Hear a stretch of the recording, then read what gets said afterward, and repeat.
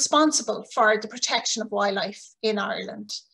Um, we're in a government department, we're probably very badly funded compared with the Department of Agriculture. So our role is to protect badgers and the Department of Agriculture's role is to protect cattle. So as you can imagine, that often means that we're at loggerheads with one another. So the project that I'm going to talk about tonight really was where a vet from the Department of Agriculture and myself got together to work together, um, looking at the badgers. It'll all be explained in the talks. But also we used some of the money, quite a lot of it actually, that the Department of Agriculture had for the badger cull and for TB eradication. And they, they very kindly gave it to us to use for the project because my organisation was only able to contribute a small amount of money, um, but a lot of staff time. so thank you so much for inviting me tonight. I'm really glad to be here. Um, and as Vanessa said, please turn up your, your volume to hear the talks. Um, I, I just apologise that I can't talk to you live, but hopefully the internet will stay working for the questions. So Vanessa, whenever you're ready, thank you. So who are we? Well, the project was begun by Teresa McWhite, this lady here, and myself. Teresa's job is a vet with the Department of Agriculture, so she's responsible for the control of disease in farm animals. Mine is to protect wildlife. So obviously badgers were the common denominator and an overlap between our jobs. When we came up with the idea for this project, we built a team around us and we got major funding from ERAD, which is the government body responsible for the elimination of TB in Ireland. And we teamed up then with Trinity College in Dublin to keep us on the straight research path. So we became Team Badger and we're still in daily contact with one another despite the project technically being over at this stage. Where are we? Well, Wicklow is this area here marked with the circle and our project involved the major route here called the M11 which goes down to Rosslare and our connection with Britain and with Europe. The, as you can see from this, Wicklow is more or less straight across from Snowdonia and the habitat and the landscape is pretty similar in places. The reason we began this research was a newspaper article about farmers who believed that when a new motorway or a new road was put in through their farms, that their TB rates shot up. This has since been disproved in the particular areas that the farmers were concerned about. But we had this opportunity in Wicklow where a new road was being built. And Teresa had already done unpublished research showing that the deer, the cattle, and the badgers in this area of Wicklow had the same strain of TB. So we were asking would the roadworks impact on the badgers, on how they lived, and on the TB levels? And we saw this as an opportunity that was too good to be missed. The N11 road project itself was a major upgrade and realignment of this national route to try and bring it up to motorway standard. So you can see here in the top picture this series of bends and there were many serious and fatal accidents that happened there. So the new road replaced that road in places and in other places it ran alongside of it. We studied the normal um, territorial behaviour and, and the range of our badgers. So they were from 12 different social groups before, during and after the road. So this is all from the same place, these photographs. So we had three years before the road was built. We had 18 months during the actual construction, and then we followed up the badgers for two years after that. And we're still writing up the final bits and pieces. So the fieldwork took place between 2010 and 2017. So this picture really is to just show you what the landscape is like. It's rolling hills that um, are at the foothills of the Wicklow Mountains, and they're kind of in a strip between those mountains and the sea. And the the farms are really a mixture of pasture and tillage. So we sheep, we had cattle farms, we had stud farms in the area. And very often the tops of the hills are wooded. So the arrow in the picture shows you woodland that uh, we'll come back to later in the talk. Over that period of field work, we captured about 140 badgers and over 80 of those uh, received GPS collars. So we normally caught them in cages and we gave them an anaesthetic then with using a pole syringe so that uh, we didn't have to get up close and personal while they were still awake.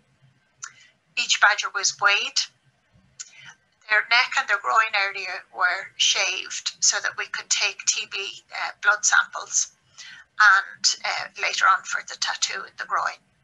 So we took bloods for the TB and we took a pharyngeal swab as well.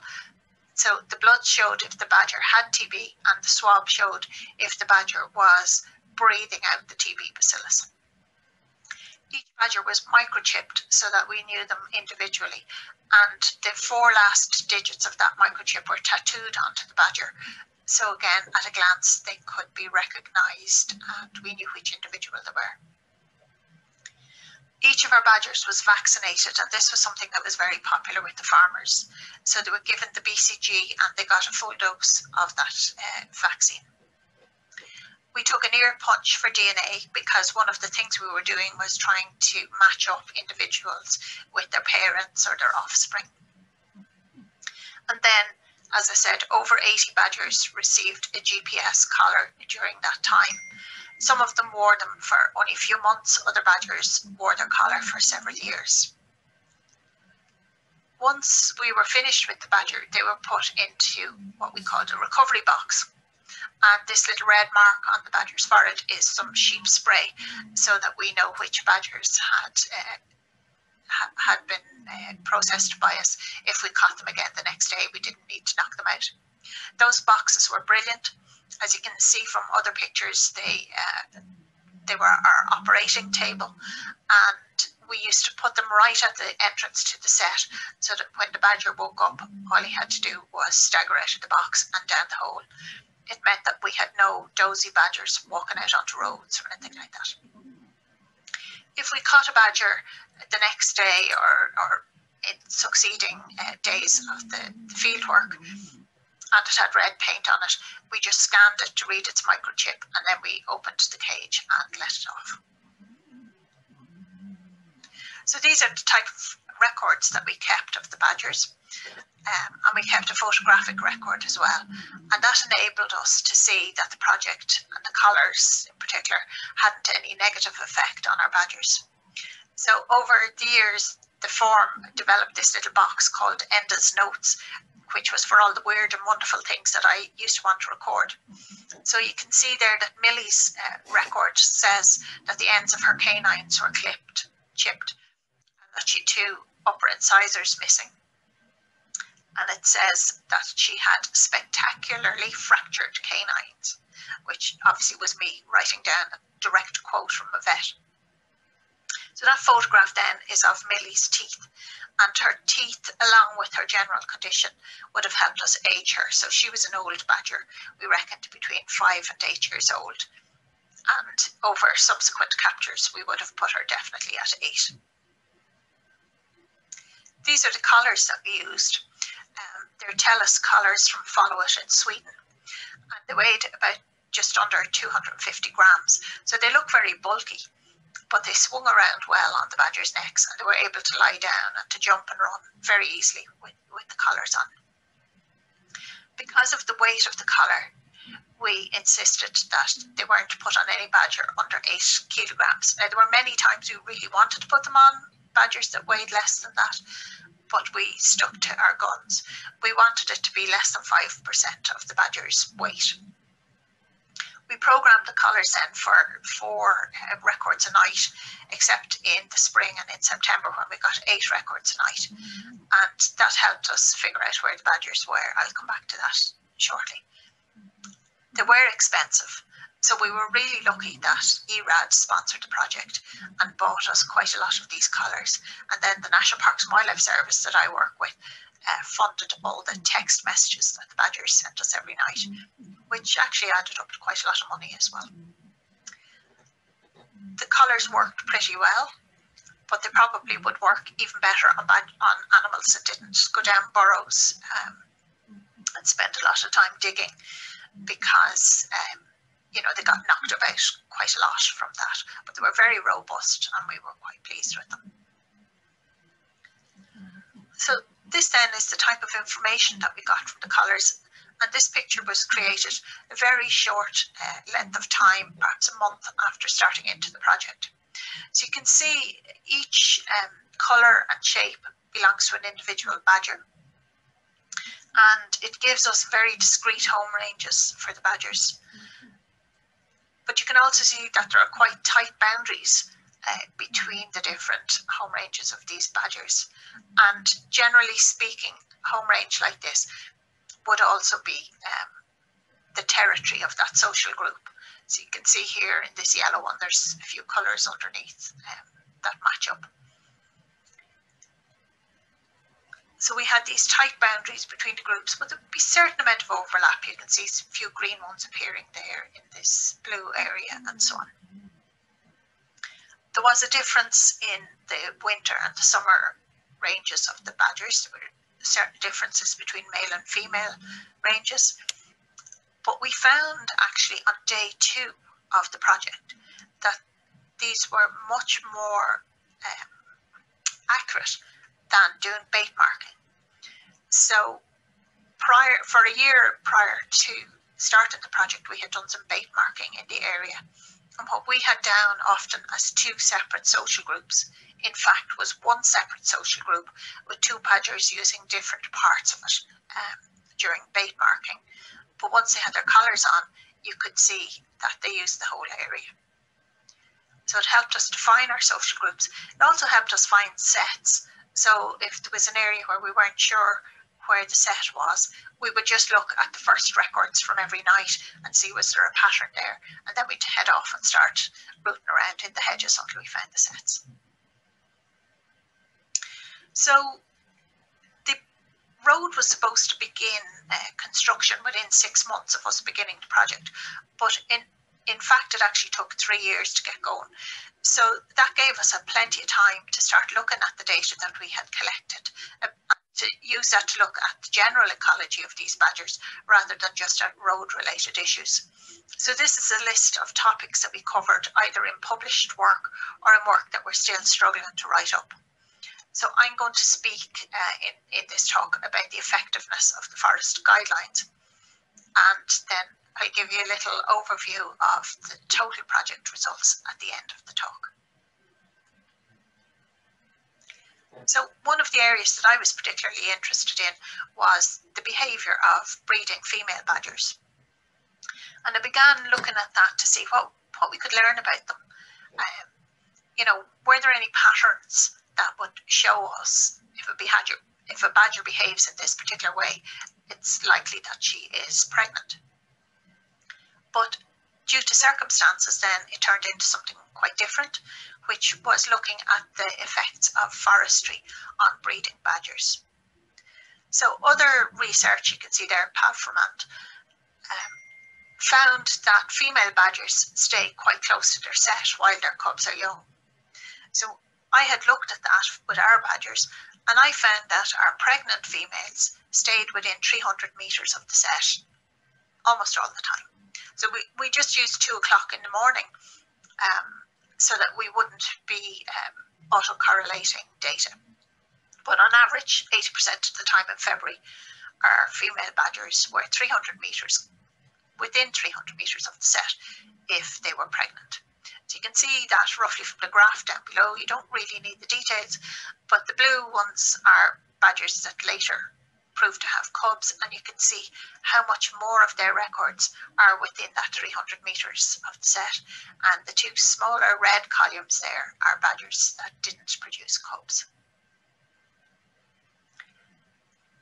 So this really is the story of one particular badger called Gina. And there her total records there. We put a collar on her in October 2011 and sadly she was killed on the, the road then the following May. And you can see the, the range there of her home range. Her set is up here where the X is and a lot of her records are gathered in and around that set. So it's close to the edge of the woodland. And in October 2011, the owners of the woodland put in an application to fell the timber around this. Now, part of my job in the National Parks and Wildlife Service is commenting on felling licenses. So they asked me for comments and they asked for advice. I used the Forestry Commission advice for um, felling close to sets, and that was to create an exclusion zone of 20 metres. And they did this by cutting uh, four trees and then taping around it, but they didn't put the tape up until the last minute uh, so that badger diggers and people wouldn't actually notice where the set was. And then within that zone, over the set, all the felling was done by hand, but they kept the heavy machinery outside of that protected zone and they made sure that they didn't impede any of the badger tracks. Um, and they were to stack all the timber and everything far away from the set. So they were the guidelines. And the felling was supposed to happen in October. But it didn't happen in October. And we noticed when we drive by that, you know, the, the trees were still standing there. And all seemed to be fine until February when Gina stopped sending us records. And we were afraid that she had died or that something had happened to her because we had had some badger digging in that um, set beforehand. So somebody went out to look and what did we discover? But the trees had all been cut down. So felling actually began on the 1st of February in 2012. This was not something that we had expected. They had complied very carefully with the conditions of their license as, as listed there. But of course, those conditions were written for October and not for right smack bang in the middle of the breeding season. Gina actually stayed underground for 11 nights, and then when we caught her again in April, she wasn't lactating. So the real question is, was Gina pregnant? And what I've done here in this graph was I've recorded her level of activity. So she's the green line and I compared it with another badger who was the same age as her, who, um, you know, this is the same same year, same breeding season, and just compared the pattern of their activity. So you can see that it matches Lily's um, very closely there until the end of January. And at that stage, the pattern changes completely. So she's much less active.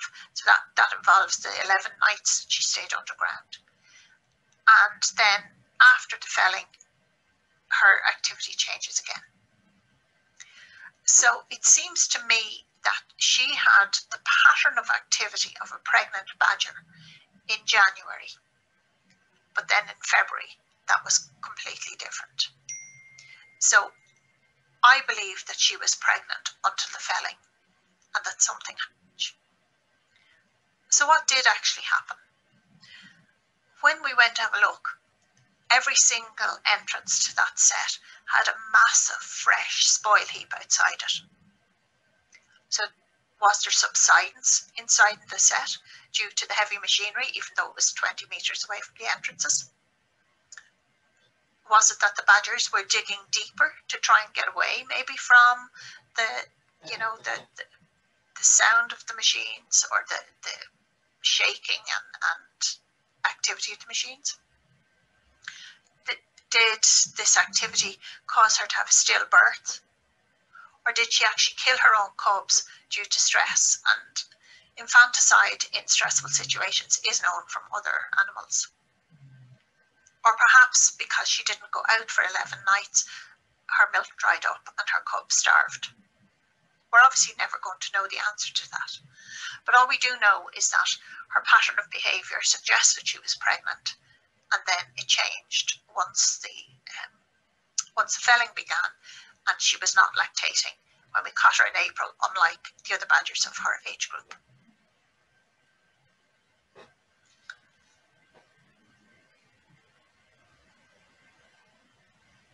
So that's Gina, and hopefully what we learned from her, we have been using with the Forest Service in Ireland to try and update their recommendations about how to protect areas that have badgers when forestry operations are necessary. What about the roadworks? As I said before, we had three years of data before the road actually began. So we ended up with a really deep knowledge of the different social groups. Uh, we knew the individuals within those groups um, prior to construction. And this is much more than normally would be known about a development site, you know, where they would just have superficial badger surveys beforehand. One of our groups lost 30% of their territory to the road, and two other groups were bisected by it. So again, this was really important information that we had. So I used that information with the construction company to influence the location of the underpasses and the fencing. So we got much more fencing put onto this road than is normal in a motorway in Ireland. In over five years now since the road was built, we've only had four badgers killed on it. And even with that, we were able to figure out straight away what had happened and to remediate those actions. So this has really protected badgers in the area. But you'll remember that our research question was to see whether the badger's um, ecology was affected by the roadworks. So we found that after construction, um, there weren't any changes to the social groups or the behaviour. We have some indications of stress during the construction phase. Uh, we haven't analysed that properly yet and we haven't written it up yet, but we did find an increase in bite wounds during that time, which would indicate that the badgers were under a certain amount of stress. So we're glad to have been able to maintain the social groups um, and, and the behaviour of our local badgers. And I suppose most importantly, there wasn't any change in TB status. So we know from humans that stressed humans are more likely to get TB. Yes, we had vaccinated our badgers, but there was no change in that. It wasn't able to override the, the effectiveness of the vaccine. And I think that's a really important thing for us to hold on to, that in stressful situations, the, the vaccine is still protecting the badgers. And there was no change in the TB status of the cattle either. So thank you so much for listening. Um, I'll take any questions that you have and thank you know I'm really grateful for the opportunity again to talk to you tonight. So thank you so much again.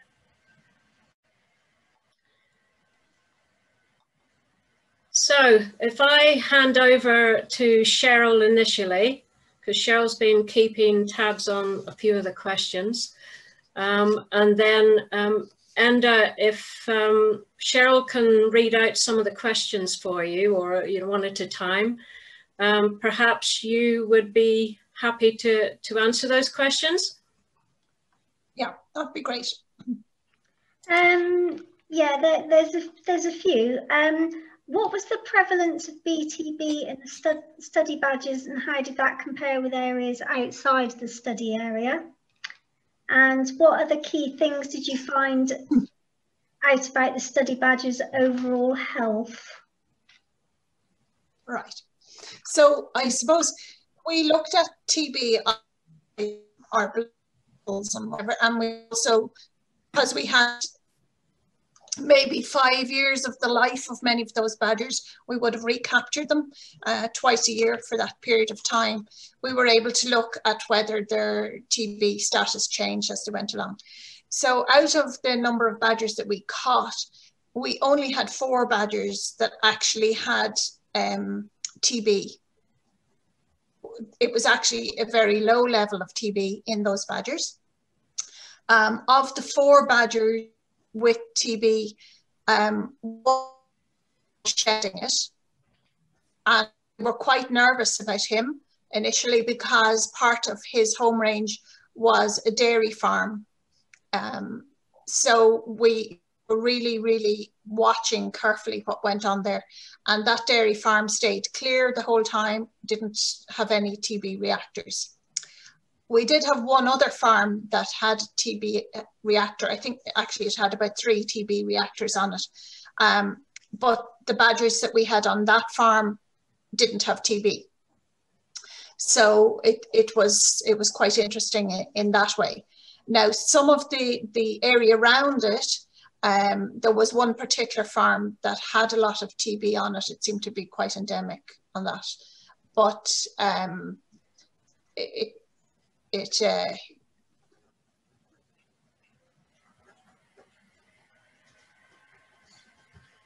we'd one badger that we euthanized because she um, she had a wound that didn't heal. And the vets were quite sure that that wound was infected um, that she had TB, like she was coming back as positive TB on bloods um, and the fact that she wasn't healing um, she was euthanized and her post-mortem found that she actually had very advanced TB. So she would have been shedding TB um, through her urine as well as through breathing, you know, her breath. But the badgers that lived in the set with her um, came back negative, which we found quite interesting as well. So hopefully that answers some of, of the question there. And Cheryl, I've forgotten the second question. the second question was, um, what other key things did you find out about the study badgers' overall health? Okay, so we found out really that they were very healthy. Um, they all had ticks, they all had fleas. Um, we towards the end we did a little thing on on like their worm load for another project that Trinity College were doing. Um, we didn't treat them with wormers. initially we were being really scientific and we were saying, you know, we weren't going to, we were just going to leave these badgers live wild and whatever. But after a while, we actually did if starting them if they had a very heavy tick load or flea load, particularly if they were cubs or young badgers. Um, we just wanted to give them the best chance in life. So we did actually spray them with frontline um, flea killer.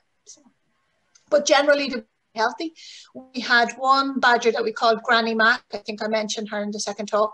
She was killed on the road when she was about 13. Um, and I suppose like most wildlife, we found past their first birthday, they usually had a good chance of living a, a relatively long life.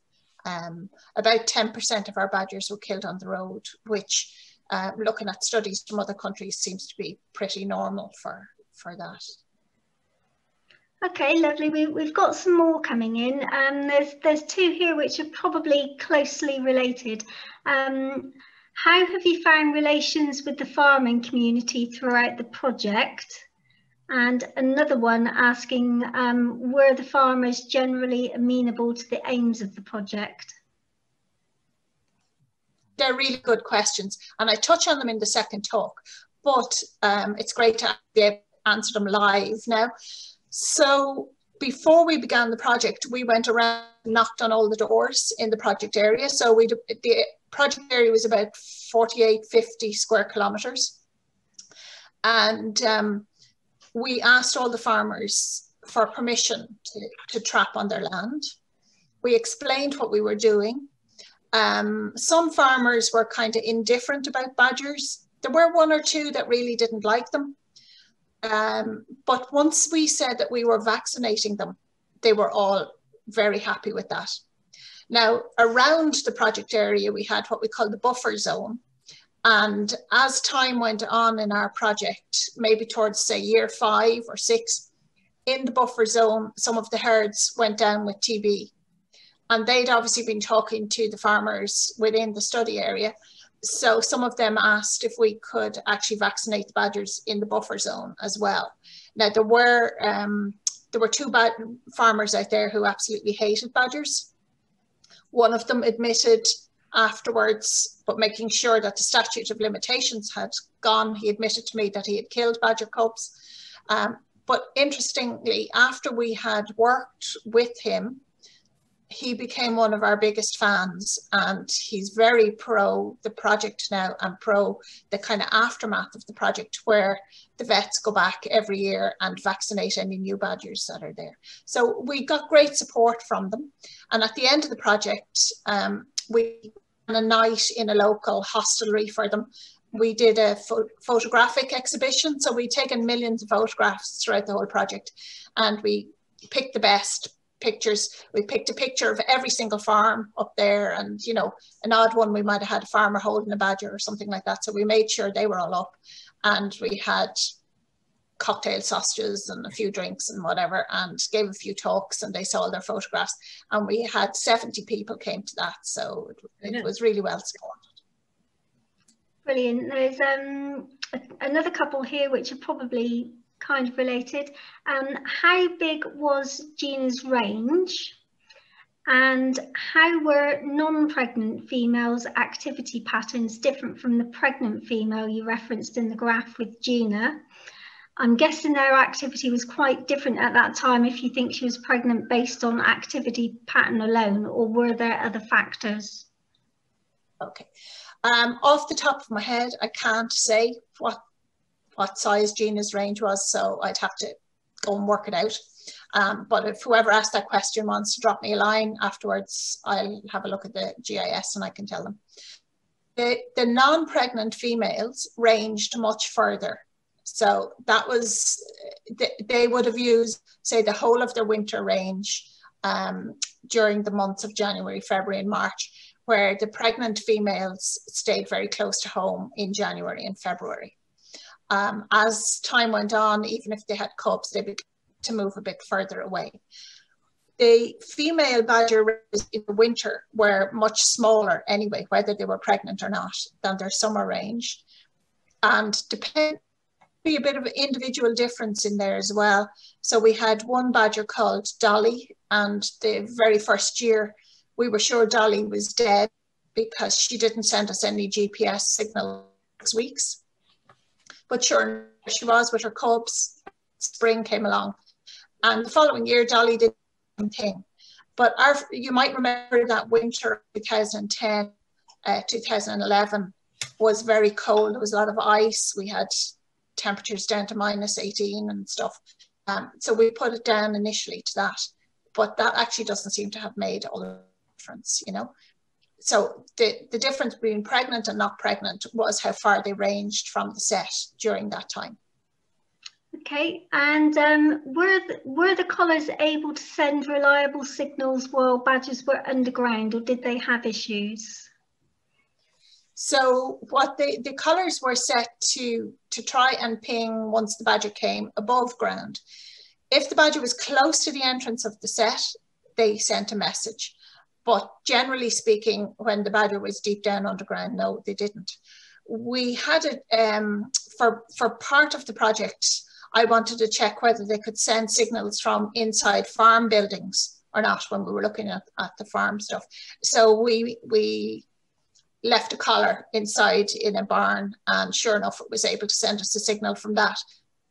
And then one that I recovered from a dead badger, um, I left in my shed and caused great consternation to the other members of the team when they thought that somebody had run off with one of our badgers and it suddenly appeared up in the middle of the mountains, you know. So, but it was it was the collar pinging from my shed. fell off and it sent a, a signal. So I think the colours work really, really well on lynxes and on other animals that are not constantly underground. Um, but we got the best of, of what we could from, you know, and they were very reliable in terms of sending uh, data. I think we'd one turned up in Iceland once, but generally speaking, they were within 15 meters of where the badger actually was, you know. Um, has there been any change to the advice the council provides regarding tree felling based on your findings, Regina? So the answer to that really is no.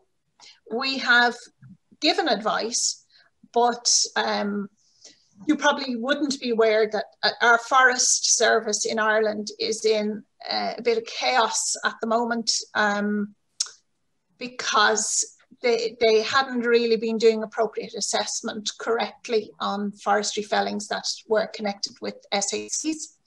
So there's this massive big backlog now and they, they have months and months of waiting lists.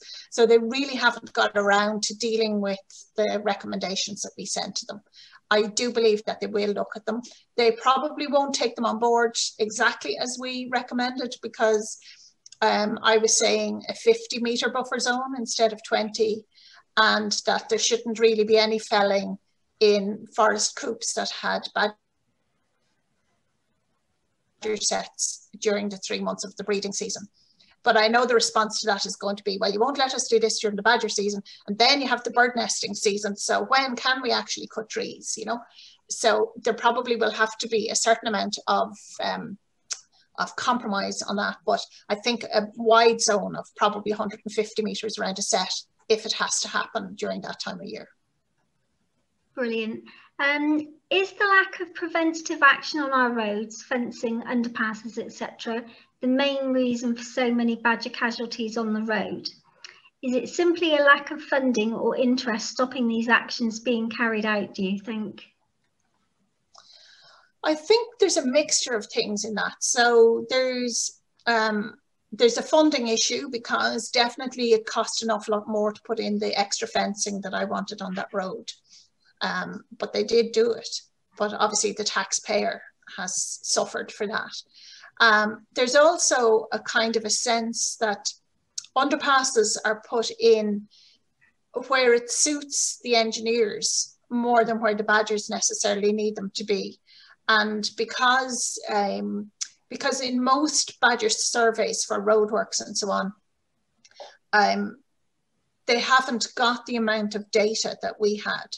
So we thought we'd have six months data, but we three years data prior to the road and the road was a design and build scheme. So I was able to influence where the, the underpasses went. In fact, we were able to tell them to take out some underpasses that they'd planned um, because they weren't necessary. But in most road schemes, they don't look at where the social group boundaries are. So my priority was to keep social groups intact. Um, you know, and we didn't need badgers to be able to go from one social group to the other social group across the road, but we did need badgers to be able to go from part of their home range to the rest of their home range under the road, you know, so that, that it kept, kept the ranges intact. And generally speaking, that knowledge is not there. Um, so I'd love a more cost effective way of being able to find out that. Um, I think that would improve things. So that's, that's kind of for new roads. But for the old roads, I think the main problem was is speed.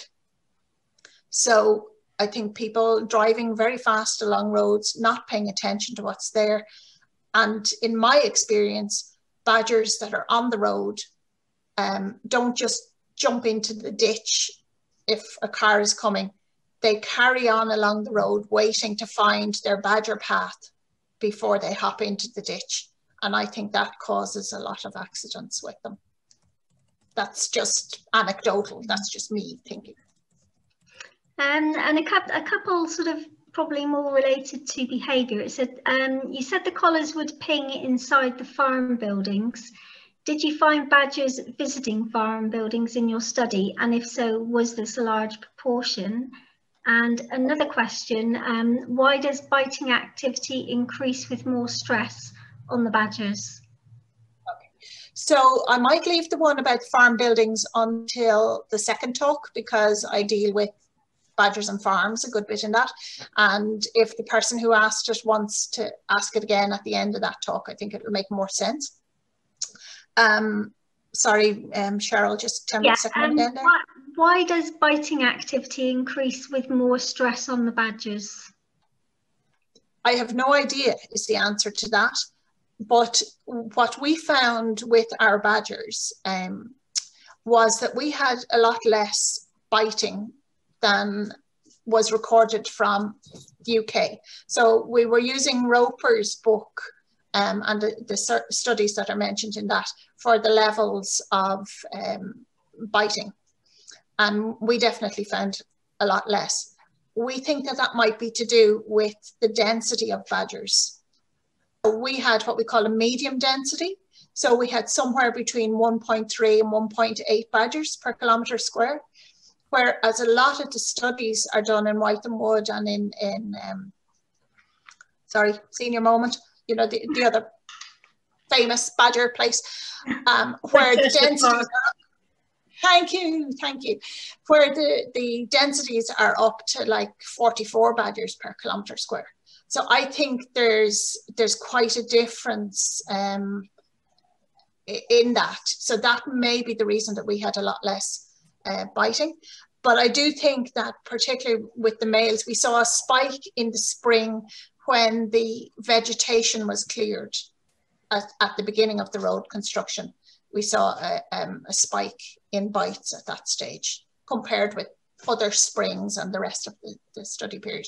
But we have to sit down properly with those and I'm not really the mathematician, so we have somebody who's a statistics expert on the team and he'll get to crunch those numbers.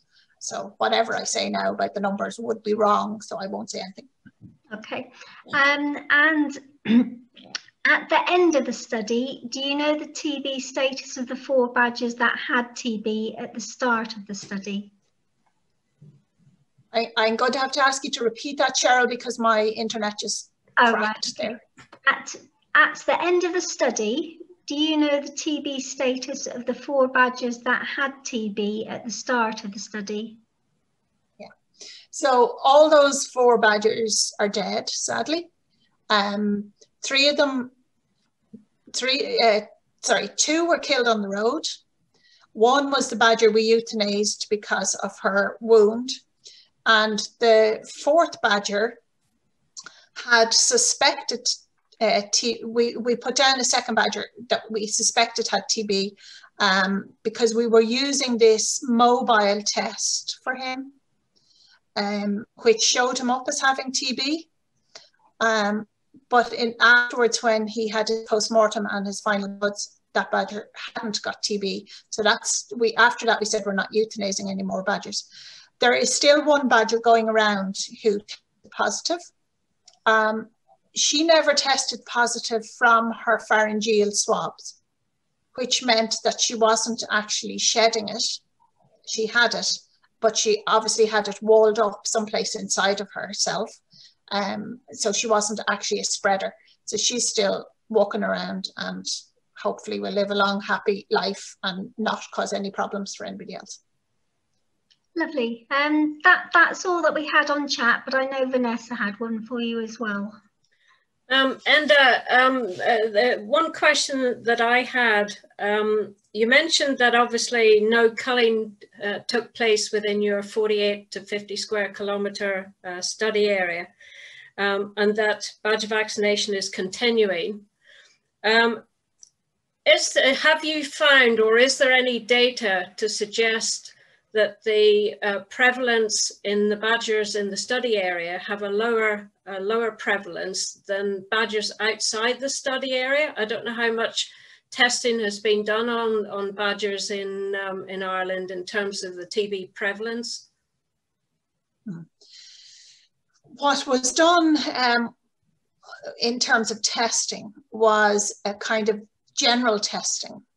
So the Department of Agriculture uh, kill about 8,000, somewhere between 6,000 and 8,000 badgers a year in terms of cull, which I know is a lot less than in the UK, but just think of the land size is a lot less as well. Mm.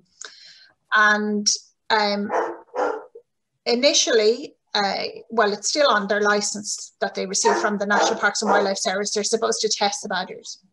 So they have said that they've done enough testing to know that the prevalence rate in badgers ranges between 13% and 25%. Now, it was obviously much lower in our study area. So you'll sometimes hear the Department of Agriculture quoting one or other of those two figures, 13 or 25%. Mm. Now, I'm not up to date. They, perhaps that has moved on a little bit since. So they don't routinely test the badgers. It is expensive to do the post-mortem on a badger. It's about 70 euro per badger. We uh, had an agreement with them that any dead badgers either found on our area or part of our project when they died uh, were going to get a post-mortem. So we got proper post-mortem results from all of the badgers and they, they were very good for doing that for us. So they, they, they're the kind of generally conceived um, what would say, numbers. But you saw there, we captured about 140 badgers and we had four badgers that had TB. So we reckoned that that was the rate in our area. Outside of our area, study area, things I think were pretty much the same in that part of Wicklow. But I have seen maps which Wicklow is considered one of the black spots for uh, bovine TB in Ireland. And um, when you look at the maps year on year, what happens seems to be that the outbreaks of TB in the county move around in a circular kind of a pattern. So say the northeast of the county is really bad one year and then it's the east, then it's the southeast, the south and so on, moving around the county. I don't know what's causing that yeah. or why there seems to be this pattern of movement of TB, but I've also seen it in maps for other counties.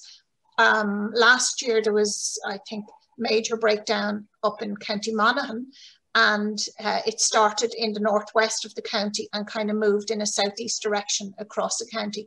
And they had a vaccination um, area in the centre of that county uh, done by the Department of Agriculture, but the, the TB outbreak moved right through that vaccination area as well, and it, it just seemed to spread that way. Hmm. Uh, perhaps we're learning a lot more about infectious diseases through having COVID.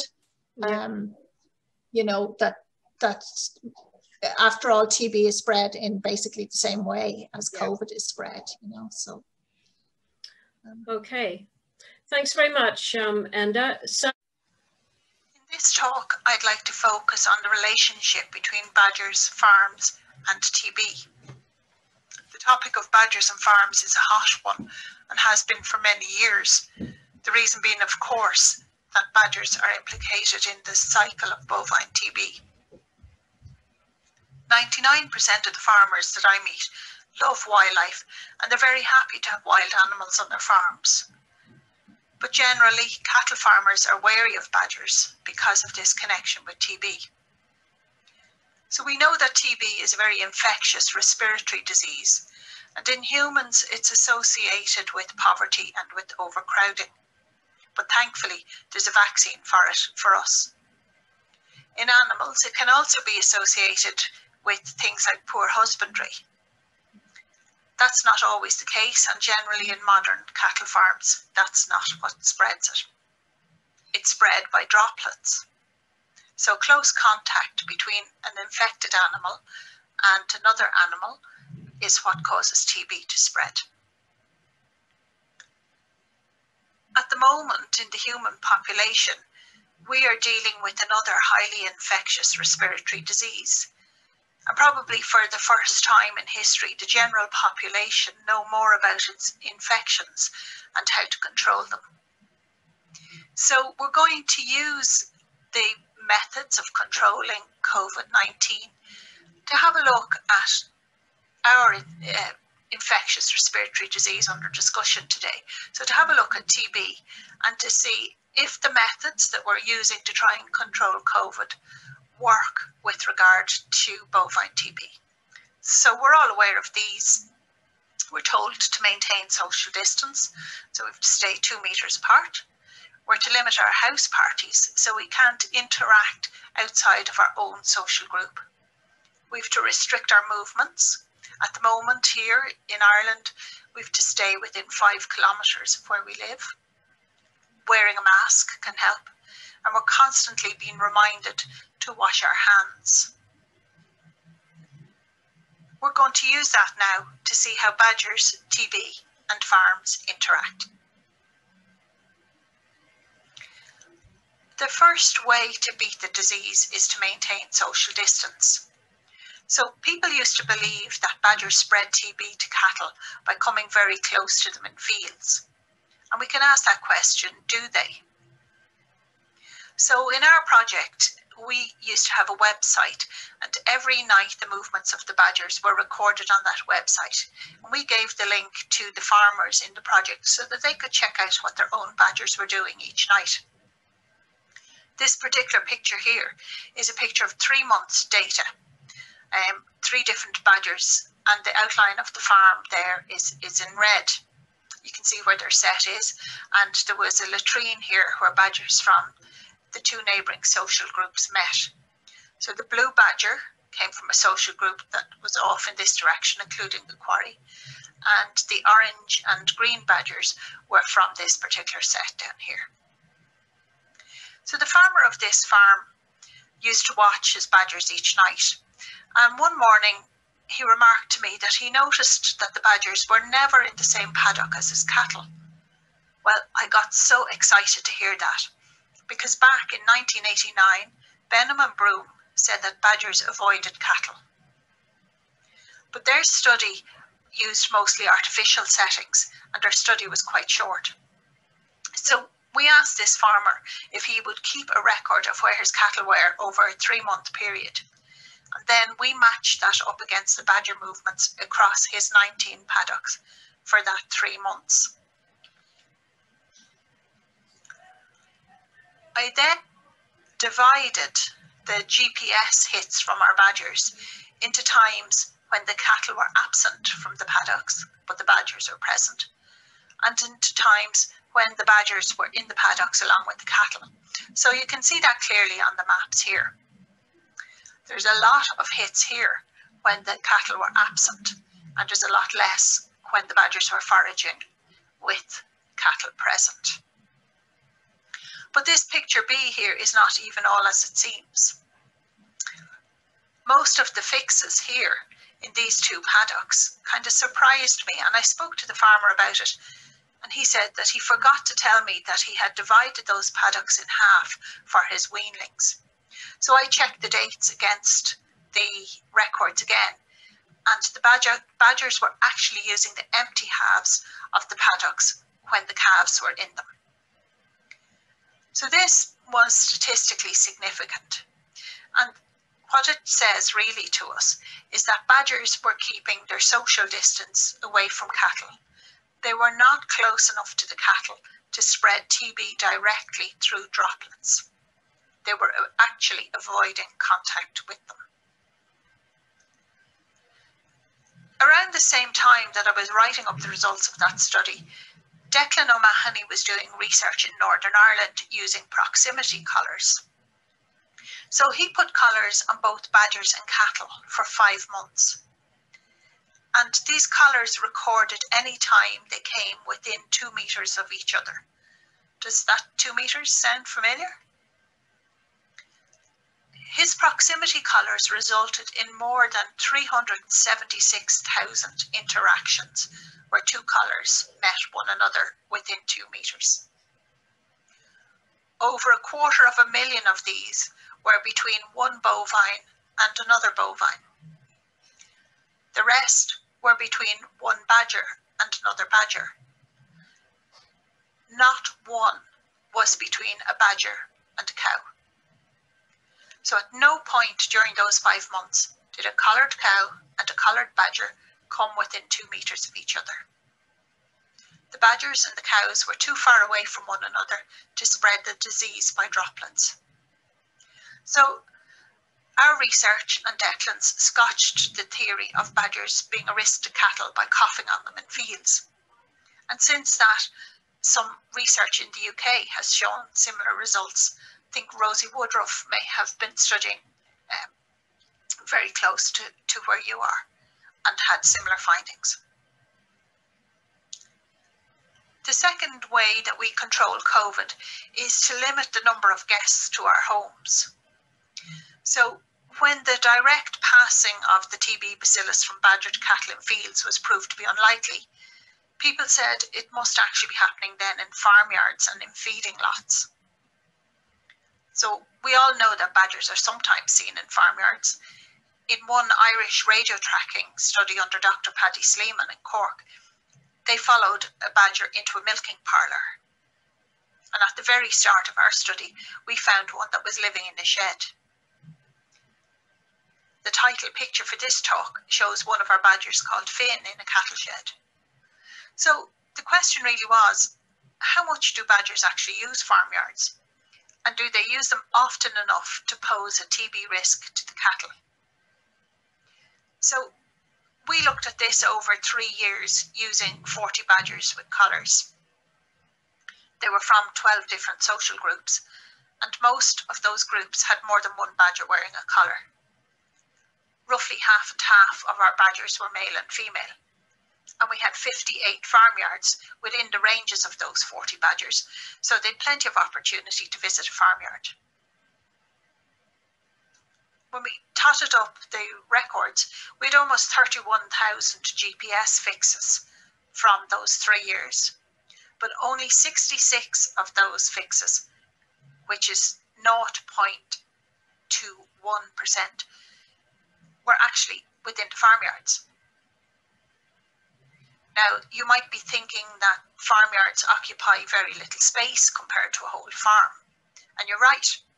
So we worked out the area of the farmyards as a proportion of the badger's home range. So, hmm, say for example, the farmyard took up 1% of the badger's home range well then we'd expect that 1% of that badger's GPS fixes might come from within the farmyard. That's if they were using the farmyards randomly. We'd expect more than that to come from the farmyard if the badgers were actually choosing to be there or being drawn into them. But what we discovered was that the fixes were way below the expected amount of use that should be. And this was significant when we looked at the statistics. So we can therefore say that the badgers were actually avoiding coming into farmyards. Some studies in England found that the season influenced whether badgers visited farmyards and when they visited. They found that there were more visits in summer or spring, but we found no difference at all with the seasons. Maybe this is because Ireland is wetter than England. Garnett had found that his badgers visited during dry spells, and he wondered if that was because there were less worms available. Now, we know that Ireland is damper, and we also know that Irish badgers eat less earthworms or they're less reliant on them. But we actually had no difference during dry weather you can see there this red arrow. That's the, the driest weather and the most likely to be in a farmyard, but it's still below um, the statistical line that would show that they were being drawn into the farmyards. Some of those English studies also found gender differences in the visits to farmyards and buildings, but we didn't. We did, however, find that there seemed to be an element of personal preference amongst the badgers. So Violet, one of our badgers, really loved visiting a particular stable yard in her area. I think she made 18 visits to that yard. And we're pretty sure that she was feeding in the mucked out dung, which was probably really rich in earthworms. In Northern Ireland, then, Declan O'Mahony used a different method to look at this. So his team blitzed all their farmyards with trail cameras. And they also had very few badger visits out of thousands of nights of film. And again, when they looked at it closely, it was a particular badger that carried out most of the visits. So we can say that badgers are not really visiting farmyards in the way that we might expect them to be, so that the risk of TB being spread by badgers in farmyards through direct contact is very limited. Earlier in the talk, I said that we had 12 social groups. So we wanted to test whether the badgers picked up the habit of visiting farmyards from other members of their social group. And we looked at those groups where there were more than one badger collar, or collared badger, excuse me, we found that social group had absolutely no effect. So this picture here sums it all up. Over the three years, only two badgers visited this farmyard, which was a total of five visits, despite all the opportunity that you can see around it to visit. And this particular farmyard never had cattle in it. It was actually just used for storage. So any badger that visited it would have been undisturbed while they were there. So we can sum up this section about farmyard visits by saying that badgers avoided them and that any visits which did occur were not influenced by season, by rainfall, by gender or by social group. We think that they were simply opportunistic. When I started to examine Badger's use of farmyards, I didn't realise that all the previous work had been restricted to cattle farms only. I just set out and looked at all the 58 farms in our study area. So these were mostly cattle, but there were also horses, sheep, and tillage, and then various mixtures of those. We'd several disused farmyards, I think it might have been six, these would be cases where the farmer had two farms, but he only used one of the yards. So examining all those different types of farms threw up a really interesting picture. Badgers were unlikely to visit any farmyard, but if they did, it was mostly most likely to be a stud farm. The second most likely farmyard was the disused one. So often these would have been mossed over and there were plenty of beetles for them to catch and they would be undisturbed while they were there. The third most likely farm to be visited was sheep farm. And we know that most sheep farmers will keep a supply of nuts in their farmyards.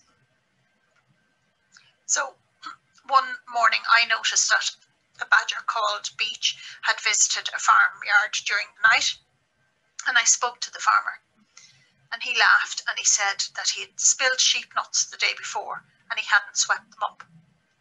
And that was the only visit to that farmyard in three years.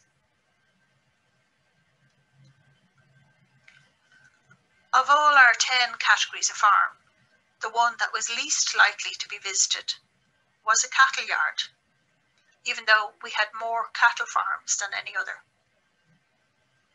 So we can say that badgers avoid all farmyards and they avoid cattle yards most of all. If our badgers were humans then, they were following COVID restrictions, we could say that they have indeed limited their visits to other prem. But now we can ask the question, are badgers actually restricting their movements? Mean, almost every farmer that I've spoken to would like to keep his own healthy population of badgers rather than run the risk of outside badgers coming in that might bring TB with them. And this is why some farmers in Ireland refuse to allow the Department of Agriculture to cull badgers on their land. So, does a farmer have a group of badgers? Or does a badger have a group of farms? Found that our badgers had big home ranges. The summer ranges were bigger than the winter ones, I've mentioned that before. And as you can see from this slide, our male average was 175 hectares in the summer, while the females were 130. But there was obviously variation amongst that. The biggest male home range was over 700 hectares, and the biggest female was about half of that. And I'll come back to that later on. So in this picture, you can see a month's movements for a female badger called Ivy. And her sett is the red dot up here in the picture. And that photo shows about four or five kilometres of a distance between her furthest fixes. So she travelled quite a bit. The average farm in our study area was 33 hectares. So if we remember the size of those badger home ranges, we can see that each badger has a number of farms within their range. So in the summer, we reckoned that the males had about five farms and the females four farms amongst their home ranges. So obviously what happens on one farm can really affect others. And if we have a badger that's shedding TB, then there's the potential for infecting animals on up to five farms. Now, you'll remember from two slides ago that I said we had one male badger with a summer home range of 733 hectares. In fact, we had a number of male badgers that were like him, and these badgers originally had a normal range within the boundary of their social group territory. But then, for some reason, they included the territory of the social group next door as well. So, in this picture here, we see the home range of a badger called Billy. And that area there is basically the same as the home range of the rest of his social group. But then Billy expanded it and he included all of the next door social groups area as well as his own. The other badgers in both of these social groups kept to their normal boundaries, but Billy spanned both. We called Billy and the other males that were like him super rangers. So during the course of our study, we had 12 super rangers who maintained these large double territories for a long time, several years even in some cases.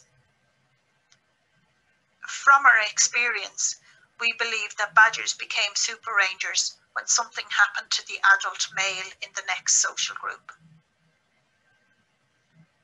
Because these were all adult badgers, as you can see, they were over three years of age themselves. Now, understanding the role of super rangers is important for any decisions regarding the removal of badgers from farms, and there are disease implications that follow such decisions.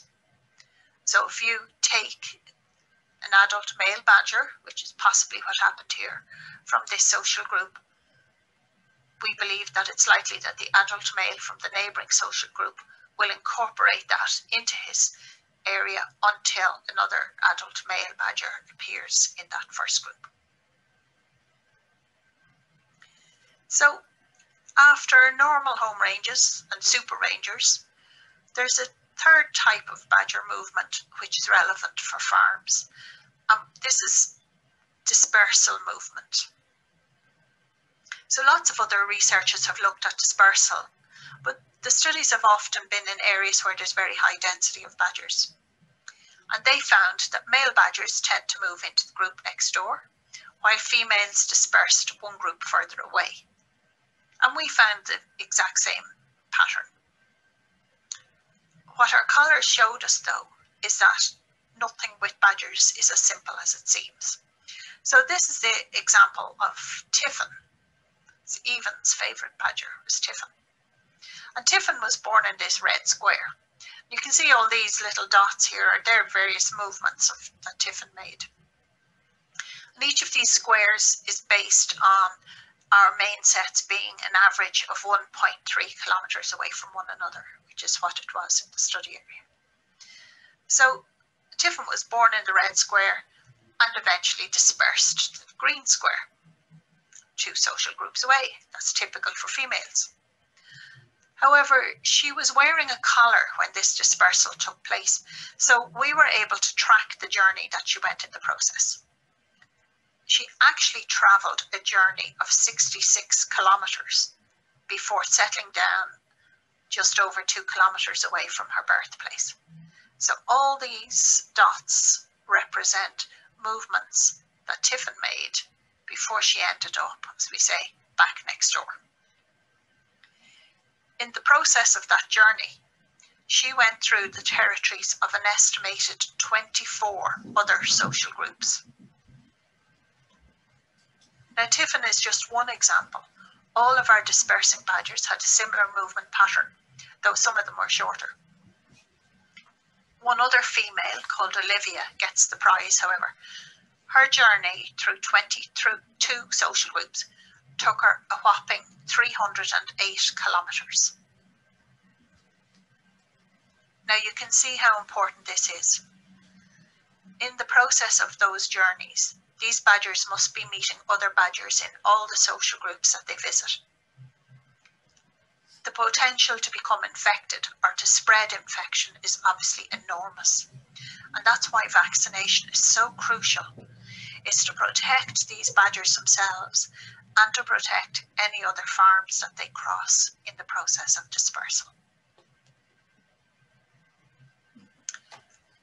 Using our COVID analogy, we can say that the badgers have failed miserably on the restrict your movements aspect of disease reduction.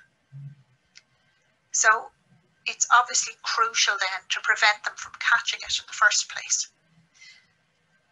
The best time to do this, we believe, from our work, is before they're one year old.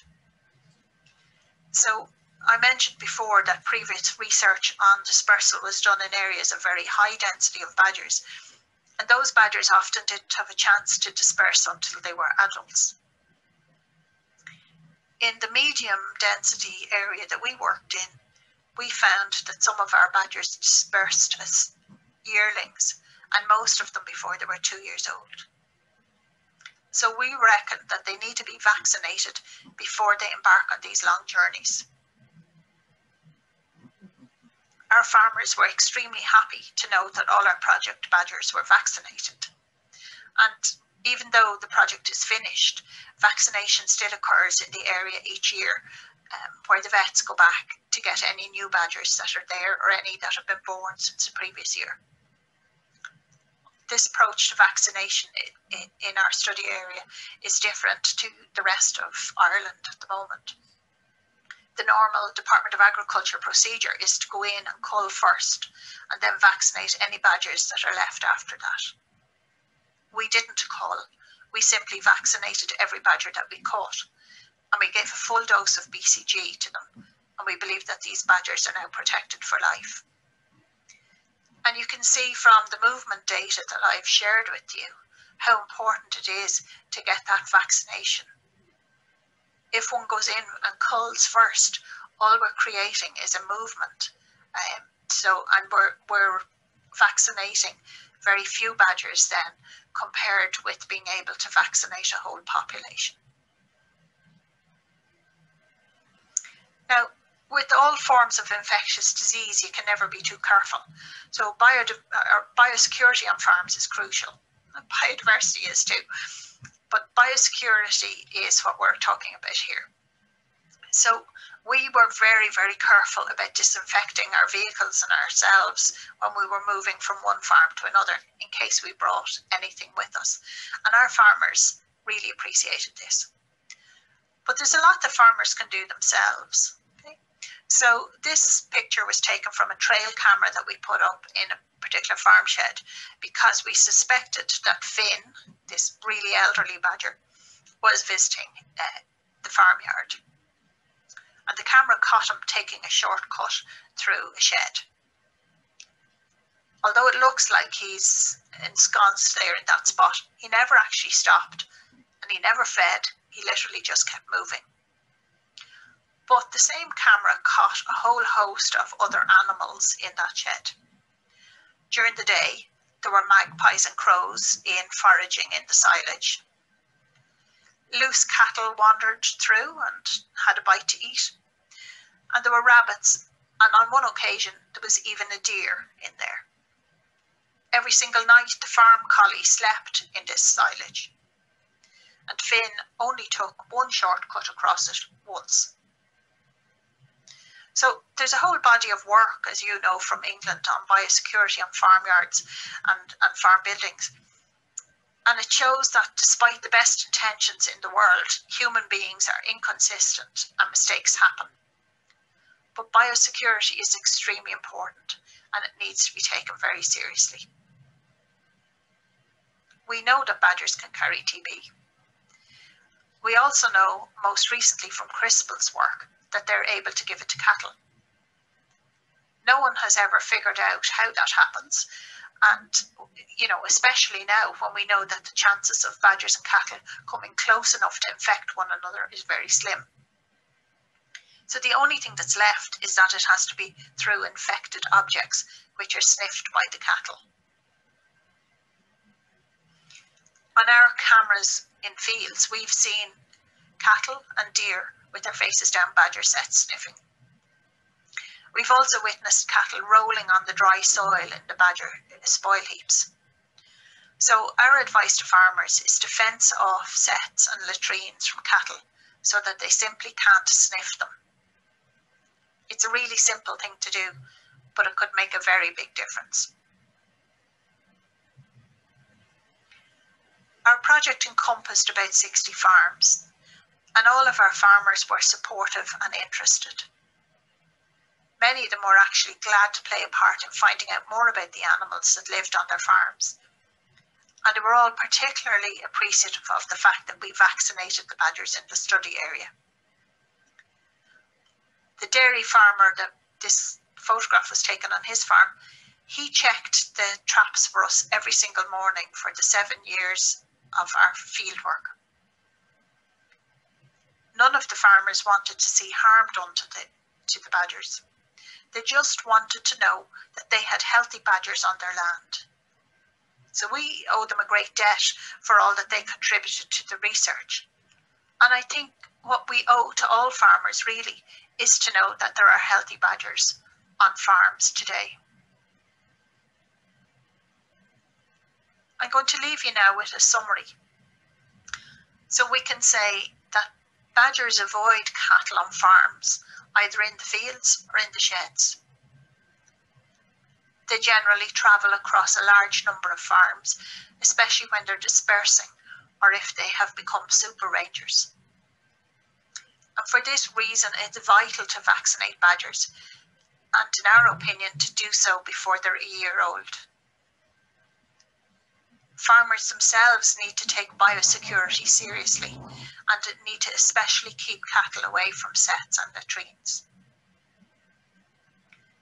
So I'd like to say a huge thanks to our farmers from the Badger team. And I especially would like to thank all of you for inviting me here today and for listening to me.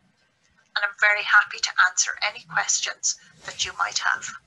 The badgers, when when they were dispersing, and there's probably two that tie up here. Um, do, did you have any idea why they went such a long way just to finish up back where they started from? And is there any evidence to show that badgers are fully protected after just one vaccine? So uh, we have no idea why they did those big journeys, whether they were looking for other places, to, you know, that if, if some other area was suitable, they might have settled in. We did have one female badger that seemed to actually um, settle down quite a distance away from, about 18 kilometres away from her natal area, but she seemed to be unusual. We were just really lucky that we had so many badgers who had collars on them when they happened to disperse. We weren't actually trying to study that it was it it was just something that happened. So then we looked at, at what happened at that point. Um, and I've talked myself to a standstill now, Cheryl, again. What was the second part of that? Is there any evidence to show that badgers are fully protected after just one vaccine? Oh, so um, what we found was that our badgers who only got one vaccine, uh, some of them lived for quite long time. So we had badgers, we'd say some of them were seven or eight when they died. Granny Mac was about 13, Finn was pretty old as well. So they all um, had got to that stage without getting TB. But I know that uh, some of the veterinary uh, section of the Department of Agriculture is advising giving a top up so when the vets are going back to our study area now every year, if they catch one of our badgers who's been vaccinated about four years ago, they're giving them a top up of the vaccine. But it's probably just as, as we say in Ireland, to be sure, to be sure, you know, so to make sure that things are working that way. Um, another one, how, how long does TB stay in the badger's urine and feces? Um, so this isn't part of our study, but I have read studies on this that um, the TB bacillus can live in damp soil for up to about two years, somewhere 18 months to two years. And that in, um, if it's out in sunlight, it's about a fortnight, perhaps, some, something around that. Uh, sun's very bright, it might be two or three days. If it's if it's darker, it might be up to a fortnight. Read that. I I'm not being very specific about it because it's just something I've I've read and I can't remember the details of it. Um, but soil helps. that, that if if that's damp soil that's take you know dug out from inside of a sett perhaps that soil could be infected um, so there are previous studies that were done there's also something that I heard at a talk in the UK and I can't unfortunately remember which researcher it was um, who's was looking at when um, cowpats are ripe for badgers to come and, and uh, forage in. And that would seem to be between 19 and 21 days. So that the, the grubs and things have, have um, won't make it worth foraging. And that unfortunately, of the modern rotations of cattle in pastures are about three weeks. So the badgers are not actually attacking the cowpats until just before the cattle are being put back into the fields again. So it does mean that if you have a badger latrine or badger urine in that field, it's still very fresh by the time the cattle are put back in. So there was somebody in Wales who was looking at extending the rotation of um, grazing. Um, I, and I haven't heard since um, whether you know whether he's got any results out of that. But he was trying to make, I think, a six-week rotation, which would have allowed the badgers to come in, clean up the cow pats, and still any infection that the badger might have left behind should have surely been killed by the rays of the sun in the meantime before the cattle came back in. But if you've any researchers in your group, there's a challenge for you. I'm throwing down the gauntlet. And um, do, do, you think that any of the farmers outside of the study area have heard about the research and possibility of free badge vaccination and are they keen to participate? If so, is the study area to be increased? Right. So um, we probably can't increase our study area as it was because our team were very much um, you know, we had to kind of fight for our time from our day jobs, as it were, to, to do the work. And our bosses were quite good and we did a lot of persuading to let them help, you know, carry on the study for as long as we did. But yes, the, the one of the farmers in the group was actually the local leader of the Irish Farmers Association um, for part of the period that we were there. So he was quite influential in some ways in that, you know, a lot of farmers would have been talking to him and he was actually, he was very supportive. Um, he let us keep our, our cages in his shed and things, you know, without any concern that we might be spreading TB to him. Now we did, vac- you know, disinfect all the time and all that too. So he was quite supportive. So I think he probably helped spread the word the um, the farmers that were outside on the edge of the study area, they really wanted us to come and vaccinate their badgers as well. So as word kind of spread amongst their neighbours, they wanted us um, onto their land as well. So um, since the project finished, there was a breakdown in an adjacent area. And um, the vet is the same vet that was on the project, Teresa. She she went in and what they did was quite different to what the normal um, Department of Agriculture response is. So they they trapped the badgers, they, they culled the badgers on the specific farm that had broken down. But before they did that, they went and they vaccinated all the badgers in a two kilometer radius around them so that when they then culled the badgers on the infected farm and, and they were infected because she post-mortemed them, it meant that any movement into that farm was going to be from a vaccinated badger. Um, and the farmers were very, very grateful for that. And that was something that they, they really wanted to know that badgers moving into their farm were actually safe badgers to have there. The way the Department of Agriculture works in Ireland is if they if a farm goes down with TB, they put a two kilometre ring around that farm. And if they have an out farm as well, the two, there's another two kilometre ring around that farm. And a lot of Irish farms would be very fragmented. So you could have five, six um, two kilometre rings from one breakdown. And they go and they cull all the badgers in those areas. But they revisit those areas the following year and the year after that again and the year after that again.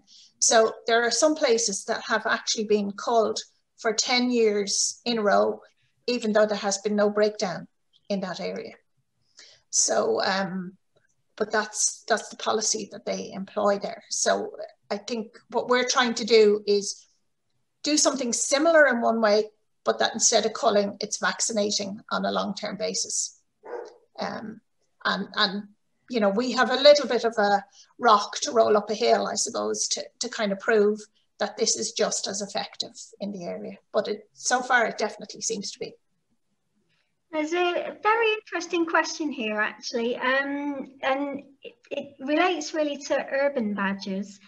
But is there any evidence that um, urban badgers, if they're living close to the edge of a town or city and crossing into farmland, could they be bringing TB inwards? Presumably into the the um, city, like as well. Presumably, yeah. Um, I suppose that is possible.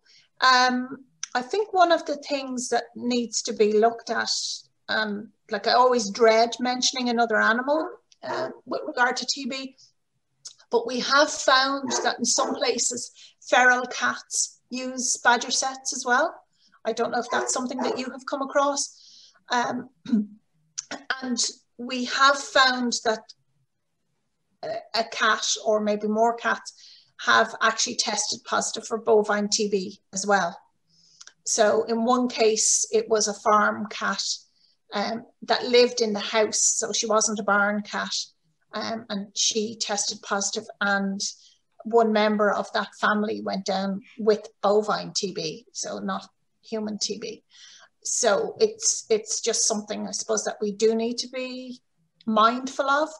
So um, that badgers can actually, like in that case, it was very much uh, from the badger sett that that cat had, had got it, you know. So um, there's always that possibility. So therefore, we need to get more badgers vaccinated faster. Yeah. And um, this is probably just more um, your personal feelings. What do you think about the public feeding badgers? Oh, you must have been um, bugging our internet there recently.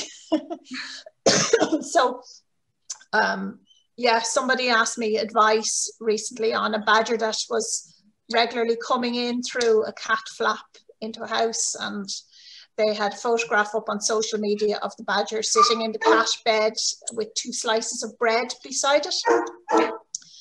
Um, I don't encourage it.